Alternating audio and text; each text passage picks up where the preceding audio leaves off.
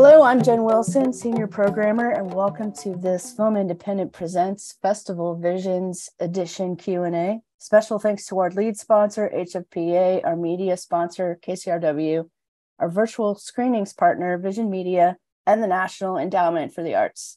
Today, we're spotlighting the feature film Runner by Marian Mathias, which played in the 2022 Chicago International Film Festival and with us to do the Q&A is the festival's artistic director, Mimi Plauché. Welcome, Mimi. Thank you. Um, hello, as uh, Jenn mentioned, my name is Mimi Plauché. I'm the artistic director of the Chicago International Film Festival, and it is my pleasure to be here today with Marian Mathias, director of the film Runner. Also, a big thank you to Film Independent for including us and the film in this Festival Visions program. We're super excited for audiences across the US um, to be able to see this amazing film.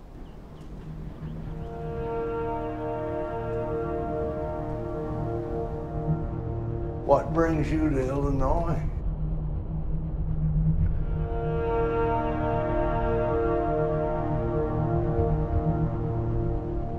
I'm here to bury my father.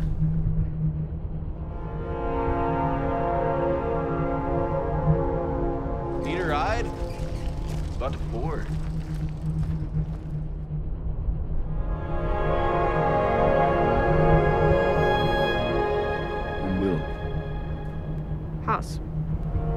It's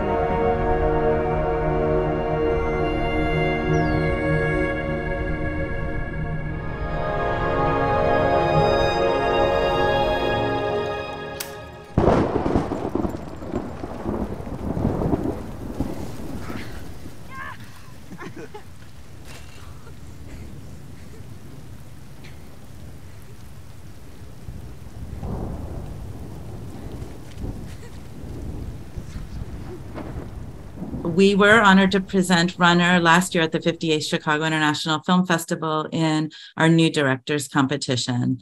Um, the film has enjoyed so much success um, around the world, winning the special jury prize at the San Sebastian Film Festival, as well as the Ingmar Bergman Award for Best Debut Feature at um, the Gothenburg Film Festival earlier this year. So, first, congratulations, Marian. Oh, thanks, Mimi. It's been such a ride, and we're really excited to be doing this festival's visions too. It's been a journey, and we hope to have some good conversation about the film. Great. Well, I'm just going to get started, um, you know, one of the things I think that really struck us, you know, we do feature a lot of films from and of Chicago and Midwest at the program, but run in our in our festival program each year. Um, but one of the things that we were struck by, I think, was like, and me in particular, was a real just this really strong sense of place that we feel in the film. Um, you know, the film is very kind of rooted in the Midwest and its in its visuals and in its aesthetic and its character.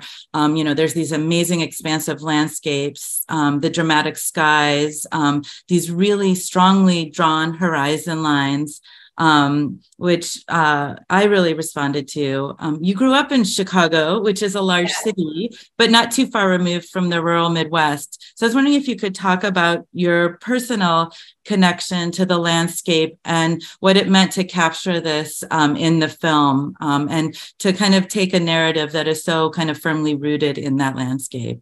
Yeah. Well, so I'm from Chicago, but my family is from the Midwest. So my parents are from Illinois, different parts of Illinois, and then my um, my grandmother actually, who is who the lead character Haas is named after, is from a part of um, I guess you would say Southern Illinois and Missouri. It's called Highland, Illinois, and it's just on the it's basically on the edge of the Mississippi River.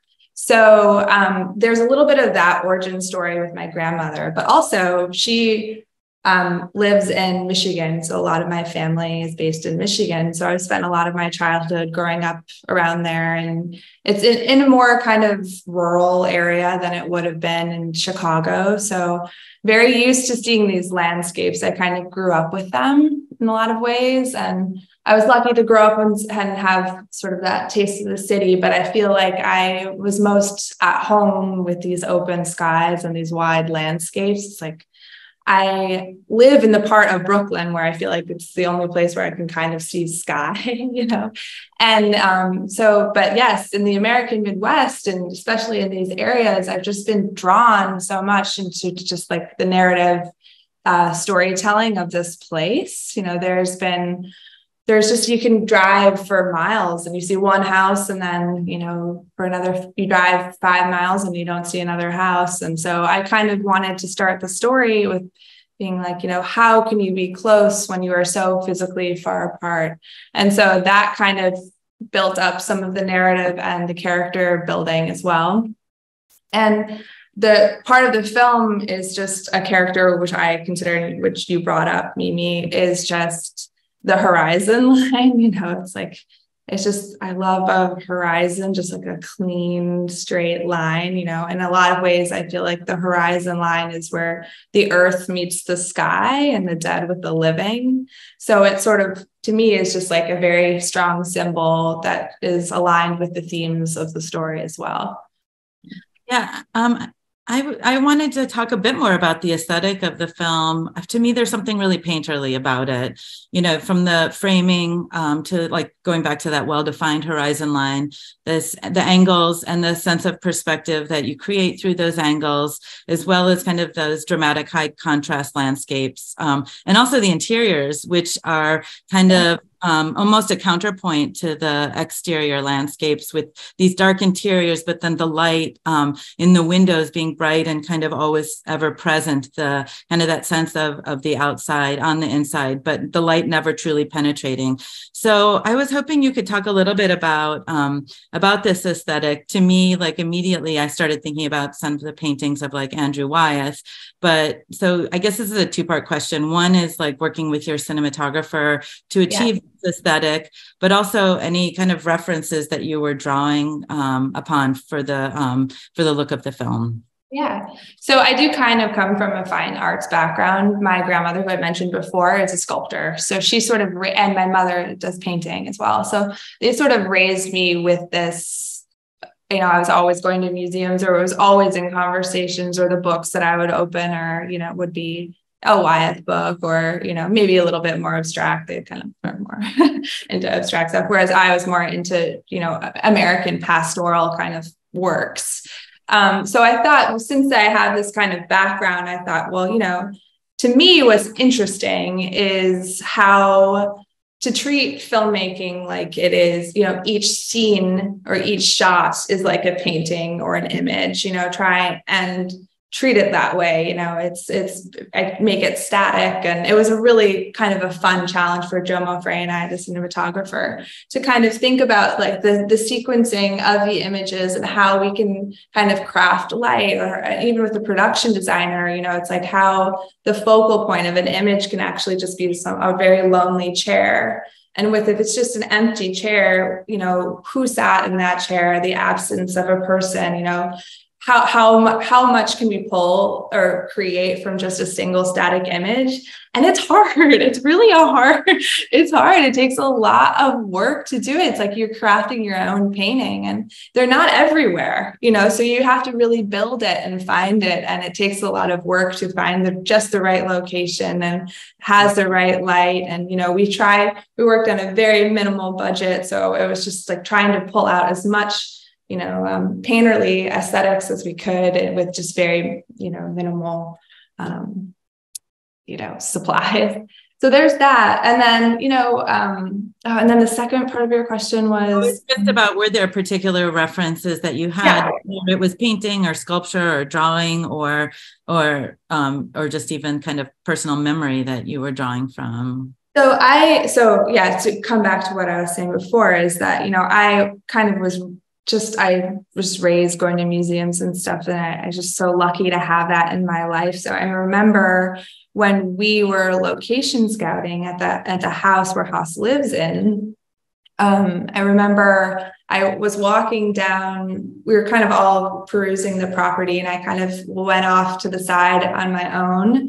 And I remember just kind of going down the hill um, and looking back up and seeing the house and thinking, oh my gosh, that really looks like, you know, the Wyeth painting of the Christina's world. We got, we have to shoot here, you know. And then it became an ode to that shot, sort of became an ode to that painting. So we have Wyeth, and then there's, you know, some Hopper in there and um, and some photography too, like Dorothea Lange. Um, mm-hmm. um, I mean, I could go on and on about the influences, but those are just a couple.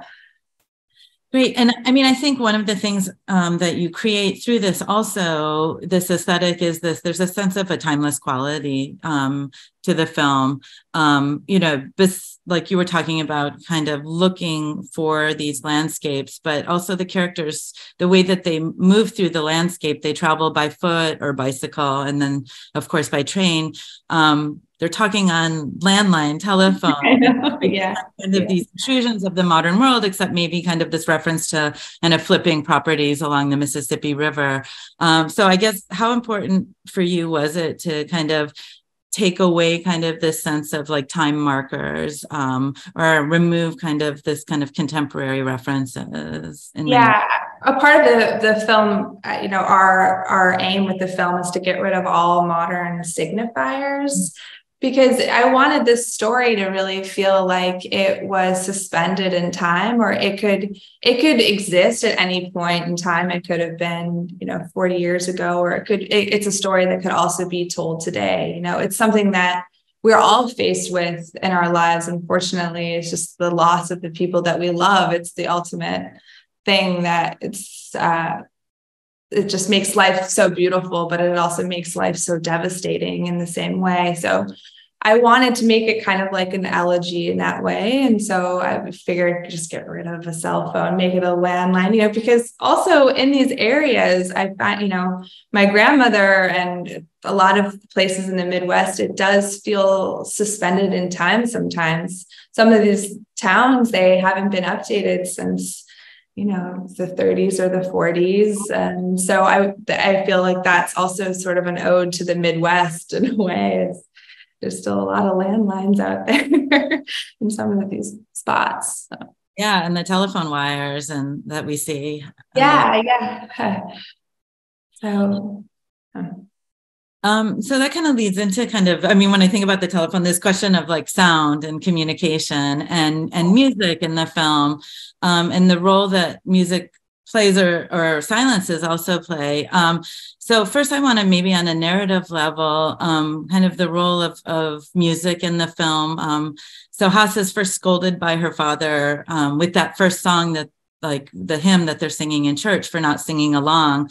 But there's this that she's not connected at all um, to the music because she said, okay, we haven't been going to church. Why are we going now? Um, but it also seems to be like a connector to to the outside world. Um, and then, of course, when we see her listening to kind of Hank Williams, I saw the light on the radio, um, it becomes almost a, maybe a personal anthem for uh, for Haas um, in the film. Um, so it's kind of both her connection to the outside world and maybe like a guide for her future or her anthem. So I was um, one. How did you choose the songs and like uh, like this? How did you kind of the process of weaving them into the narrative um, and the way that you see the role that music plays in her life? I just gave you my interpretation. No, so. I'm, I'm loving all of these too, and I, it's so exciting for me to hear interpretations that are almost even more eloquent than I could even say. yes, you know, yes, that's exactly what I was going for, and it's also yeah, it's very special for me to hear it interpretation. So please keep them coming. But um, for the Hank Williams song, I actually, it was just one of these things where I had woke. First of all, shooting the film was like such a light in my life. It was just such a wonderful time. It, we began shooting it sort of at the end of our lockdown, our first period of lockdown. So all of our collaborators kind of came together in this one hotel that um, we were lucky enough, they had just allowed us to stay there.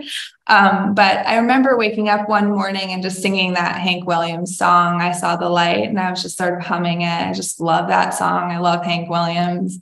And I was singing it, and um, Darren, who plays Will in the film, you know, heard me singing it too. And so he, you know, was hesitant, but he was also kind of humming along with me. And and it was the first time I sort of saw a glimmer of you know Darren and who he is. And so it made us feel connected in this way where we was like, oh, and then a friendship started to form and all this stuff.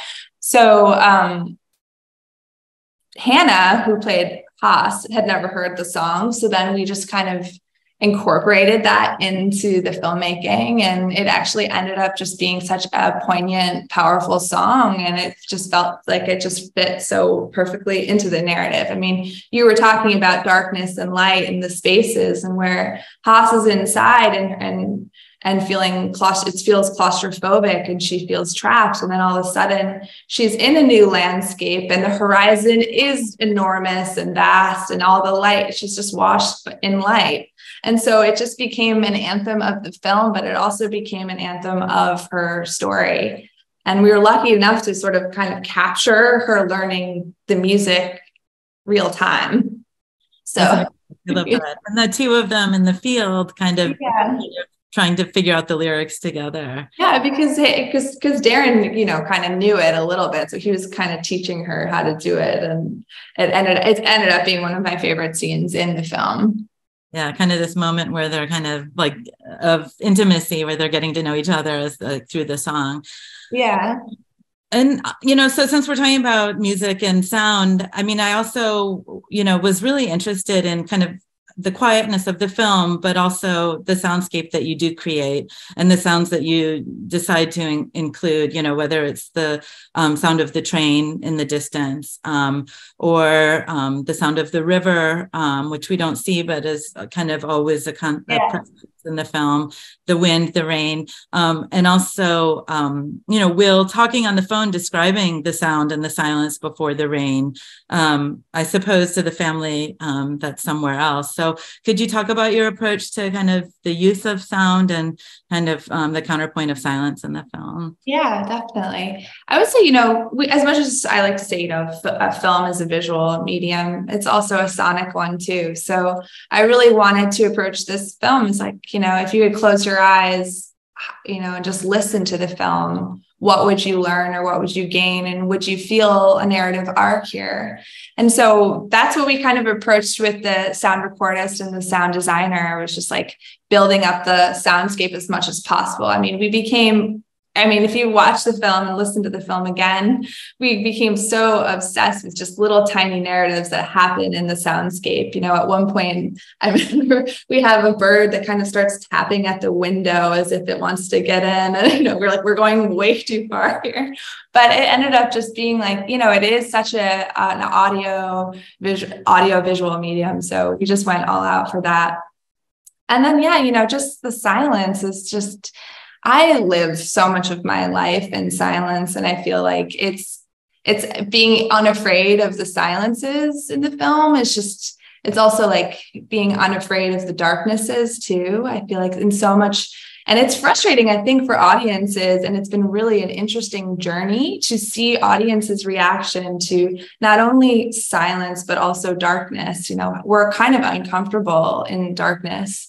We're also uncomfortable in silences. So you know, it's it's it's been um, quite an interesting journey, just seeing what audiences respond to, but also what they don't respond to, and and kind of playing with that a little bit. Oh, Mimi, I think you're. Oh, I saw that. I, um, um, I feel like um, it's interesting to think about the way in which um, you're also playing with kind of this these themes of loneliness, but also connection. Yeah. Or maybe even like redemption through connection and how you explore those themes in the film. Um, and then especially working with kind of the characters of Haas or Hannah and Will. Um, can you talk about kind of how you worked with the, the two actors to kind of create that relationship um, and also about casting them um, for that um, kind of relationship or that that kind of quiet chemistry between the two of them. Yeah, definitely. I mean, I feel as feel so lucky as a director to have been able to work with both Hannah and Darren. They come from very different acting backgrounds. So Hannah is an actress based out of Germany. She's a star, you know, in Germany too. She's in so much so much stuff out there and her work her body of work at, at such a young age is remarkable and darren actually is um, he comes from um, the blackfoot reservation in montana so he is just he is, has like um, just a knack for um, authenticity. You know, he is such an authentic performer, and he's just. I like to say that he's probably one of the most generous actors I've encountered because he just gives so much of himself to the project. And and Hannah is very similar too. I mean, she would craft she would come in already having kind of crafted nuances of Hannah's uh, of Haas's behavior too and her personality. So they just both were just very present with one another and I think really excited to just be on set. Mm-hmm. Hannah was excited to be on set in the States and and Darren was also just this is his first feature. This is his first film. So he was just, you know, had that excitement coming in too. So they were both just really ready to work with one another and um, learn from one another. So that's how they were both found. And they ended up just kind of having a natural chemistry and friendship. And that's just one of the best gifts that a director could get, I would think yeah no it's uh, uh, really nice to kind of those like quiet moments of interaction between the two of them like starting with the first scene together when she hops on his uh, bicycle uh, yeah yeah um I, you know i feel like we can't not have a conver- have this conversation and not talk about kind of the i guess the scenes of m- what might be considered like the chorus of townspeople um, that entered i think it's twice in into the film kind of in the lower left hand corner um, mm-hmm. looking at the house and commenting on kind of the action that's happened or um, kind of thinking about kind of or describing what they would imagine Haas's kind of interior kind of reaction to what's happening around her might be um, I, I, felt like on one hand it seems to be connecting kind of with this idea of kind of community or small town life in which people are observing commenting maybe even judging. Um, but also um, giving us insight into kind of Haas's interior. So um, can you talk about kind of the decision to include this device um, in in the film and um, and yeah. Absolutely. I, I, I call the, those two scenes, or I guess, yeah, I guess just two of them, the Greek chorus of the film, where it's, you know, onlookers looking onto this one girl's narrative and kind of imposing their own fears or their own judgments or their own um, Uh, yeah, mostly, you know, their own fears onto this young woman's life. It's like there's this expression that I think about all the time, especially having grown up in the city, but also spending a lot of time in the crunch in the country. Is this like wh- whether or not you'd like to be a small fish in a big pond or a big fish in a small pond? And I feel like in Haas's narrative, it's, you know, maybe she'd rather be a small fish in a big pond, you know, see and be a little bit anonymous and have her own sort of independence. But when you're in a small town like this, when tragedy happens, they ex- they're explosive, and all of a sudden you're on a stage that you didn't ask to be put on, and everybody's kind of nitpicking each part mm-hmm. about it. And one thing, and you also mentioned earlier, it's like a little bit about loneliness. It's like for me, it's actually there's there's this, this differentiation between loneliness and solitude You know, and I see Haas as someone who actually is a character who is okay with solitude, solitude and independence, you know, uh, having her own kind of different trajectory of her life. Whereas sometimes loneliness can be imposed upon you, or it's like a group of in, in one in, in the second vignette is that there's just a group of these women kind of looking up at her and saying, you know, I can't imagine what it would be like to be alone, you know. And it's just kind of um their own fears putting being put onto her life. So I wanted to bring that out um, a little bit in the film, just to highlight her independence a little and where she's actually at. Yeah, and I think that relates kind of to my last question, which is about the ending of the film, where I mean, she's clearly in a position where she's able to make choices or is comfortable making choices about what's next for her. Um, so I love the ending and that it's so open, letting us, the audience, consider kind of or imagine what futures lie ahead for both Haas and for Will. Um, I don't want you to explain or to speculate about what happens next, but I'm wondering um, you know, just kind of that choice that you made about keeping the ending open um, and that decision. And how did you, having made that decision, how did you land on those final scenes or images?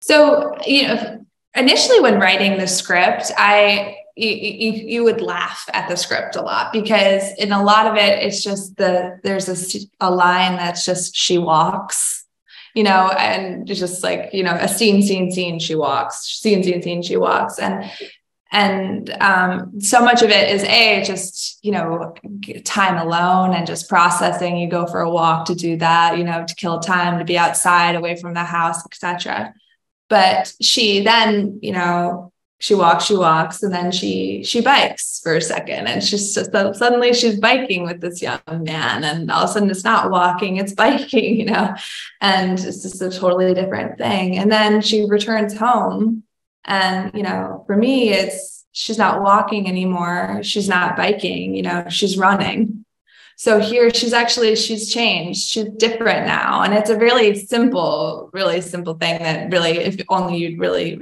had read the script you'd under, understand how i saw sort of like a poetry in that. It's like people touch your lives whether or not they they realize it or not and you change and alter your behaviors so in this one it's like it ends with just her her running. So that's that's one answer to that. That's great. Yeah, I think there's maybe one other time when she runs in the film, um, when she's learning of her that her father has passed, right? Or she something is wrong. Yeah. Um, great. Well, I love it. Um, so again, congratulations on the film. Thank you for this great conversation and um, have a great time on Bergman Island. Thank you so much, Mimi and Jenn. It's been such a pleasure to show the film, and we can't hear to we can't wait to see everyone's and hear everyone's reaction to it.